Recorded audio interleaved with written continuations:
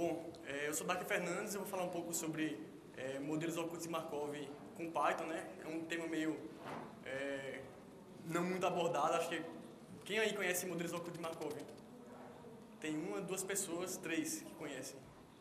Então, assim, é uma coisa que pouca gente ouviu falar. Bom, sou de Petrolina, é, fiz ciência da computação na, na Federal de Pernambuco. É, hoje eu trabalho no Instituto Nokia Tecnologia, desenvolvendo é, software gráfico, não tem nada a ver com, com modelos ocultos, mas foi um trabalho que eu desenvolvi na faculdade.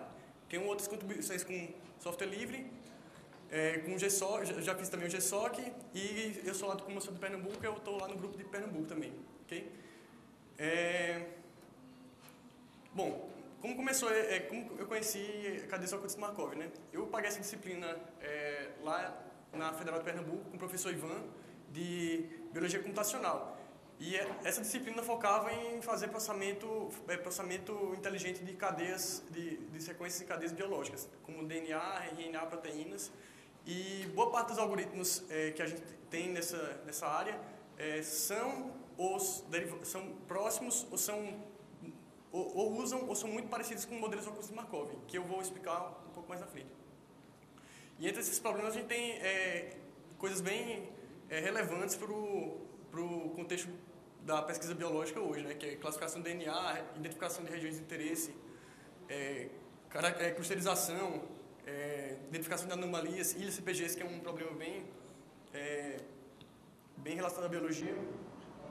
E a gente tem aqui os modelos ocultos, né, que são é, modelos matemáticos que podem representar é, de forma probabilística a formação de cadeias e de sequências temporais. Certo? É, os modelos ocultos eles têm duas, é, duas, é, duas coisas que são bastante interessantes. Eles, são, eles representam estados e que esses estados se manifestam em comportamento, que é exatamente o que vai gerar sequências ou os eventos de uma, de uma é, ou, ou caracteriza uma cadeia ou um evento de uma sequência, certo? E a gente pode aplicar eles a vários problemas, não só aqueles que eu citei de biologia, mas qualquer outro problema de classificação, clusterização, é, é, reconhecimento, é, nas sequências e geração é, baseadas no modelo. Por exemplo, eu tenho música e eu quero gerar essa música a partir de um cadeia de Markov, eu posso fazer isso.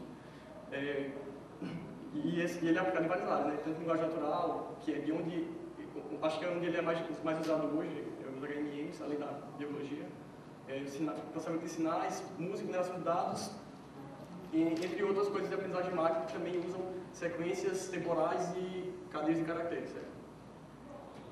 É, bom, eu vou tentar explicar o que são cadeias ocultas na para quem não conhece, é por um problema bem simples da, da área, que, é o Fairbaird Cassino, que é um problema, é, assim, não tem tanto utilidade prática porque ele é um problema bem simples, mas ele serve para dar esse conceito e logo, logo em seguida eu vou apresentar a biblioteca e como é que você pode utilizar essa biblioteca. Certo? Bom, o problema é o seguinte, é, existe um cassino é, onde existe um jogo de aposta de moedas e tem um funcionário para ficar jogando as moedas, certo? E cada moeda pode assumir dois valores, tanto cara quanto coroa. É, e essa, e esse, só que esse funcionário tem duas moedas e, e, são duas moedas diferentes. Uma é uma, uma moeda justa, que sempre vai dar é, cara ou coroa com igual probabilidade, 50%, 50%, ou uma, e uma moeda viciada, né, que vai ser uma moeda que vai ter é, vai dar mais vezes cara do que coroa. Ele vai dar 70, 75% das chances da, da, dos lançamentos que ele fizer vai dar cara e 25% ele vai dar coroa, certo? Assim, uma maneira mais fácil de, de, ver isso é com um gráfico de emissões, que a gente tem dois estados, no caso, o, o estado que quando ele está com a moeda justa e o estado quando ele está com a moeda viciada, certo? Que ele vai fazer a emissão desses símbolos é, com, essas, é, com essas probabilidades. E esse funcionário, como ele, ele sempre usa duas, uma das duas moedas, é, ele sempre, mas ele também pode trocar essas moedas, né? ele não vai ficar sempre com uma moeda. Ele pode estar com uma e de repente ele fazer essa, uma troca de moedas.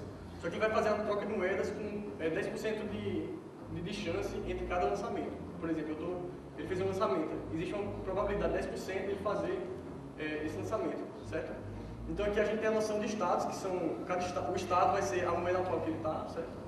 E a transição é a probabilidade dele ou ficar no mesmo estado, que é continuar jogando pela moeda, ou fazer, ou, ou trocar moeda para poder continuar o lançamento, certo?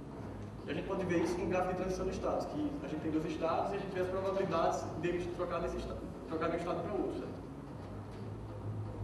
É, e ele também pode, a gente tem, tem, tem também que ter um estado inicial para poder começar é, a prever as coisas, né?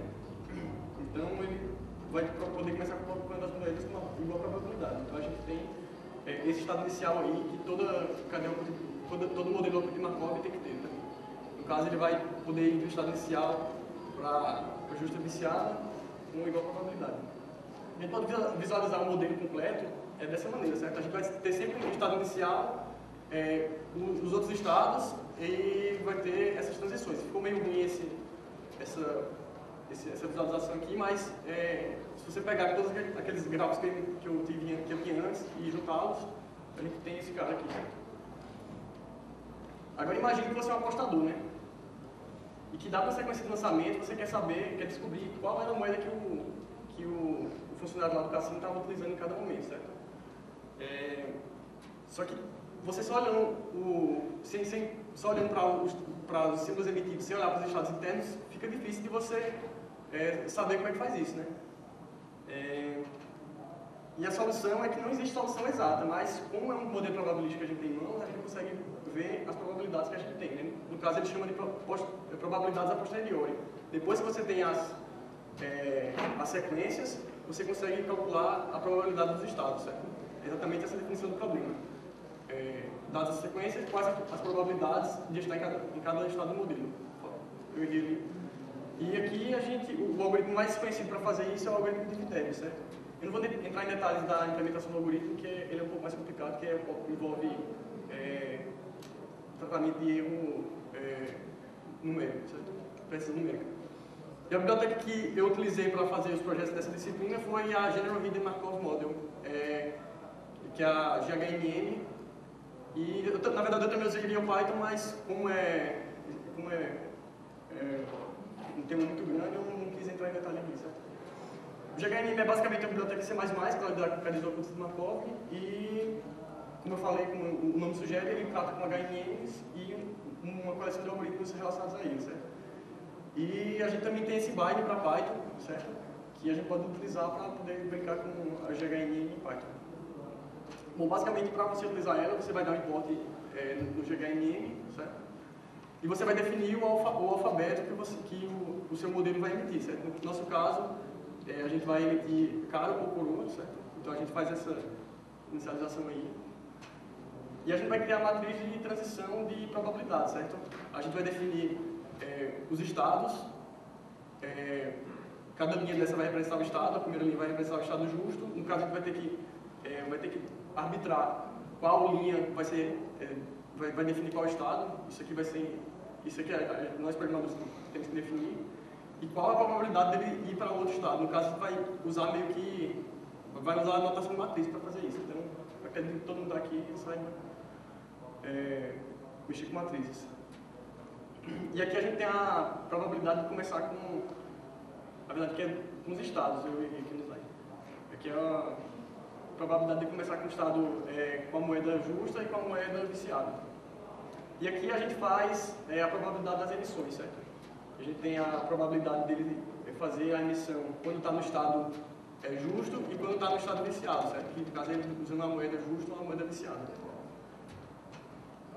É, pronto, aqui a gente consegue construir um modelo, a gente usa esse, essa HNM from matrices, que ele vai pegar todas as matrizes, as matrizes de transição de emissão e dos estados, e dos, estados iniciais para fazer essa construção. Ele também usou o alfabeto, certo? Para fazer essa, essa construção. Ok?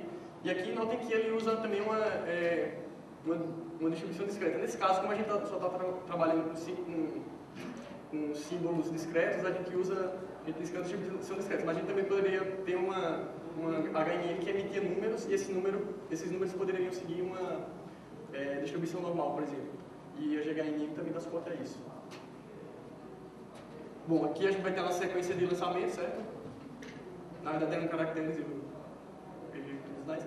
E a gente vai criar uma, emissão de sequências, certo? Isso aqui eu acho meio feio, porque acho que a API do GHNM poderia ser um pouco melhor em relação a isso. A gente bota é, um, a, uma lista com todos os símbolos que foram emitidos e é, o alfabeto, certo? E aqui a gente, dado o modelo, a gente faz a, a gente chama essa função de Viterbi, passa nessa sequência.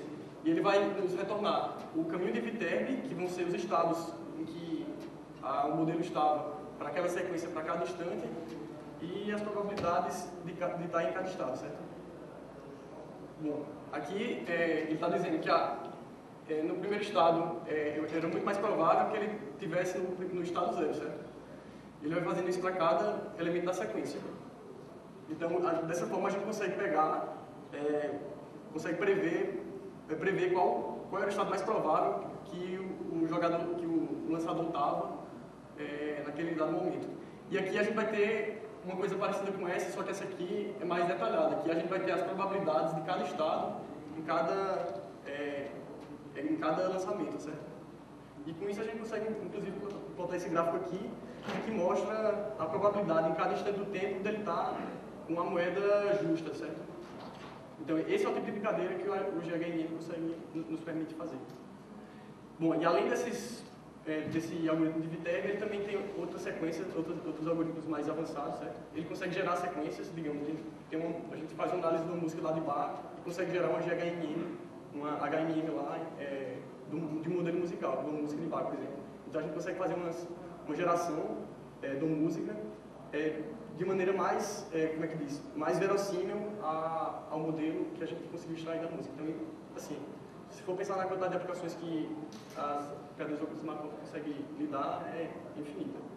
Como eu falei também aqui, de, no parênteses, é, ele também lida com a emissão de, de símbolos seguindo distribuições gaussianas e também tem, ele implementa esse Barbelch, que é um algoritmo é, de HMMs que é bem complicado de se entender, mas que ele faz é, a calibração dos pesos de um HMM. Por exemplo, imagina que você tinha aquela sequência lá é, do jogador, mas digamos que a moeda com o tempo ela vai se desgastando e que ela muda a probabilidade. Então, se você tiver uma sequência, é, uma amostra de sequências dessas moedas, você consegue recalibrar é, o, os pesos das probabilidades da, da HMM que você tem, certo?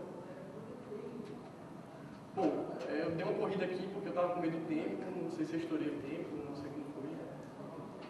É, eu queria agradecer ao pessoal do, do INDT, onde eu estou trabalhando hoje, que me permitiu vir aqui, ao pessoal da Federal, Pernambuco, o professor Ivan, Python Brasil e a vocês que estão aqui assistindo essa palestra. Muito obrigado. E eu queria abrir agora para dúvidas.